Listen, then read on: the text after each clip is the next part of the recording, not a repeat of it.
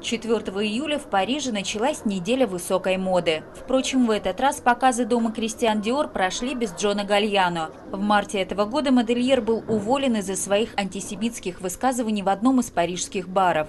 Воздушные блузы, платья с глубоким вырезом на спине и пиджаки с шелковыми вставками – это коллекция французского дизайнера Ан Валери Аш. Представляя свою одежду на второй день показов, она, как и все остальные, говорит о Гальяно.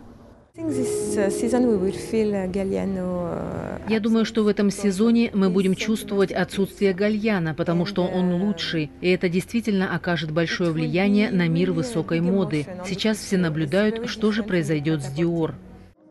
Пока две модели демонстрируют наряды, дизайнер говорит о том, что уход гальяна может стать ударом для индустрии. Однако перспективы для высокой моды по-прежнему остаются хорошими. Тем временем сам опальный модельер ожидает приговора. Суд должен вынести решение в конце лета.